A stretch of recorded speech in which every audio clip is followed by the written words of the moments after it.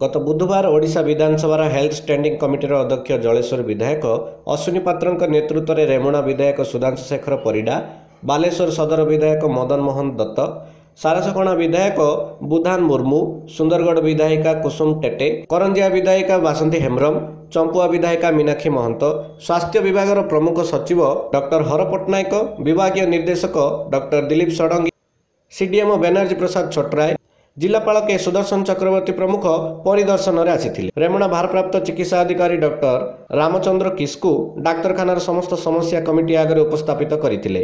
ବିଶେଷ କରି ଡାକ୍ତର ସମସ୍ୟା ଓ ରେମୁଣା ପାଇଁ ଭେଷଜ ସର୍ଜରୀ ଶିଶୁ ଏବଂ ସ୍ତ୍ରୀ ରୋଗ ବିଶେଷଜ୍ଞ ଡାକ୍ତର ନଥିବା ଷ୍ଟାଫ୍ ଏବଂ ଷ୍ଟାଫ୍ କ୍ୱାର୍ଟର ନଥିବା ବିଷୟରେ କମିଟିକୁ ଅବଗତ କରାଯାଇଥିଲା। ରେମୁଣା ସରପଞ୍ଚ ଗୌରଚନ୍ଦ୍ର ରଣା ମଙ୍ଗଳପୁର ସରପଞ୍ଚ ଉମାକାନ୍ତ ପଣ୍ଡା ନରହରିପୁର ସରପଞ୍ଚ ସୁଧାକର ଜେନା ବଟବିହାରୀ ଦାସ ଗୌରାଙ୍ଗ ଦାସ ନରେନ୍ଦ୍ର ବେହେରା ପ୍ରଶାନ୍ତ କରାଳ ପ୍ରମୁଖ ଡାକ୍ତରଖାନାର ଏଠାକାର ଡାକ୍ତର ସମସ୍ୟାକୁ ତୁରନ୍ତ ସମାଧାନ କରିବାକୁ କମିଟି ପାଖରେ ଦାବି କରିଥିଲେ।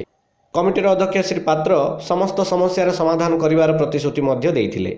ଏହି କାର୍ଯ୍ୟକ୍ରମକୁ ପରିଚାଳନା କରିବାରେ ସିଏଚ୍ସିର ଜନସ୍ୱାସ୍ଥ୍ୟ ସମ୍ପ୍ରସାରଣ ଅଧିକାରୀ ଶେଖ୍ ସୁଲତାନ ଅଲି ବିପିଏମ୍ ସଞ୍ଜୟ ପାତ୍ର ଦୀପ ଦଳେଇ ଏବଂ ସମସ୍ତ ଡାକ୍ତର ଓ କର୍ମଚାରୀମାନେ ଏଥିରେ ସହାୟତା କରିଥିଲେ।